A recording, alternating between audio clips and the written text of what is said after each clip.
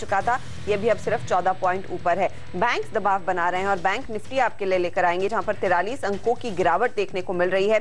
ये एक pressure point है मार्केट के लिए। हमारे साथ राहुल अरोड़ा, अविनाश कुरक्षकर, सुनील सुब्रमण्यम है। एक वेरी क्विक टेक राहुल, आपसे वॉलिटिलिटी है और शायद बजट हर बजट में हम देखते हैं वॉलिटिलिटी देखने को मिलती है। आपका बड़ा टेक अवे क्या है एक निवेशक के तौर पर और एक एडवाइजर के तौर पर?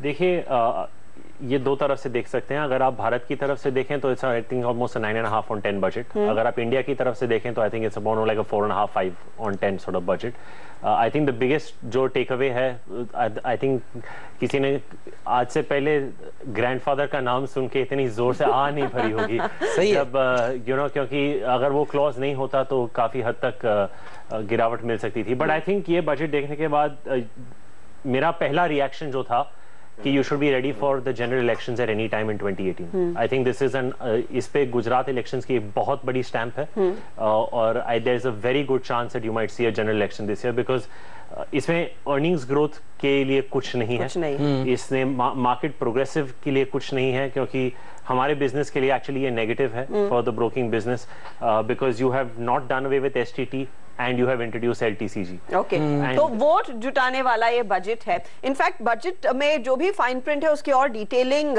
बाज़ार भी सुनना चाहता है. और इसी पर लक्ष्मण रॉय बात कर रहे हैं. डीईए सेक्रेटरी सुभाष चंद्र गर्ग से सीधे वहीं चलते हैं.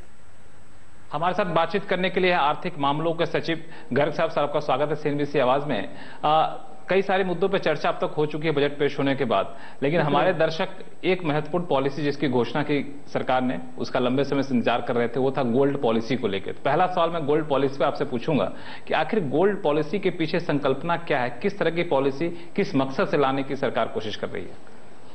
देखिए इसमें तीन अनाउंसमेंट किए हैं फाइनेंस मिनिस्टर ने। एक तो ये कहा गया है कि गोल्ड पॉलिसी लाएँगे। दूसरा उसमें यह है कि गोल्ड एक्सचेंजेस जो रेगुलेटेड हों, उनकी स्थापना की जाएगी। और तीसरा ये जो गोल्ड मोनेटाइजेशन स्कीम है, उसको रिवैम करके एक simple streamline gold deposit account की सुविधा देने के बारे में सरकार विचार करेगी।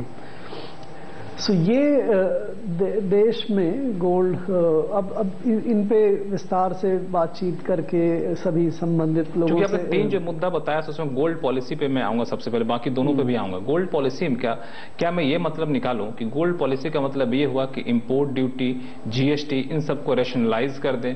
ज़रूरत के हिसाब से उसमें फेरबदल ना करें बल्कि एक पॉलिसी रहे जो ये बताए कि हाँ इम्पोर्ट ड्यूटी इतनी रहेगी जीएसटी के तहत इतना रेट लगेगा कुछ इस तरह की बातें। पॉलिसी का हिस्सा होंगी सारी बात। पॉलिसी में टैरिफ के बारे में इतना हिस्सा नहीं होगा। टैरिफ के बारे में इसका उद्देश्य टैरिफ का नहीं है।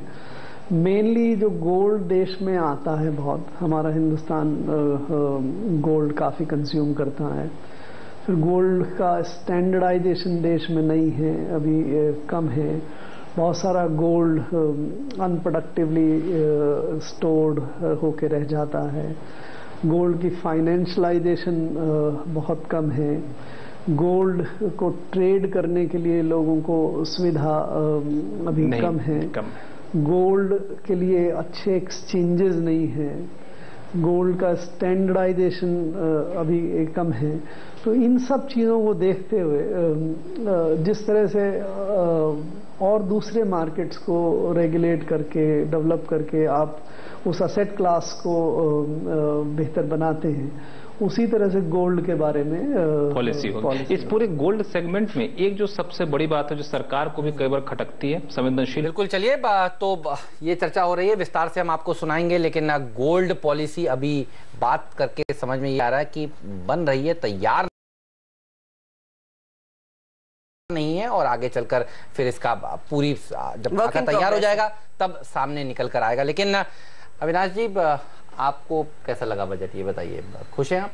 आई थिंक मैं समझता हूँ ये politically you know populist budget है। इसमें कोई डाउट नहीं कि गुजरात इलेक्शंस के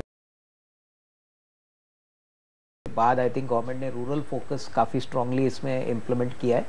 और जो आई थिंक पहले गेस्ट ने कहा ये अभी लॉन्ग टर्म इन्वेस्टर्स के लिए डेफिनेटली इनजस्टिस है, क्योंकि अगर short term capital gains 15 percent है और you know long term gains पे आप 10 परसेंट देते हो तो कोई इंसेंटिव नहीं रहेगा कि अगर इक्विटी में इन्वेस्ट करना है तो लॉन्ग टर्म की हो। तो मेरे ख्याल से डेफिनेटली एसटीटी का अगर यू नो एक्सक्लूजन होता था तो that would have given a big sentimental boost to the markets और मुझे लग रहा है कि ये अभी भी equity as an asset class काफ़ी कम लोग हैं जो यहाँ पे इन्वेस्ट करते हैं तो इसको थोड़ा सा इंसेटिवाइज करने की ज़रूरत थी। तो ओवरऑल थोड़ा सा डिसअपॉइंटिंग है कैपिटल मार्केट से but overall rural rural basket के लिए मेरे ख्याल से काफ़ी डिमांड ड्राइवर्स है। होपफुली uh, अगर यू नो ग्राउंड लेवल पे ये प्रोग्राम्स अच्छी तरह से इंप्लीमेंट होते हैं तो आपको एक अच्छा यू नो मौका मिलेगा रूरल थीम्स को प्ले करने के लिए। हम्म, चलिए तो रूरल सेक्टर के ऊपर फोकस है। भारत का बजट है इंडिया का नहीं ये ज़्यादातर एक्सपर्ट्स मान रहे हैं। बहुत बहुत शुक्रिया अविनाश जी आपका राहुल जी आपका सुनील सुब्रमण्यम साहब आपका राकेश बंसल जी आपका धन्यवाद आज सीएनबीसी आवाज़ के साथ जुड़ने के लिए।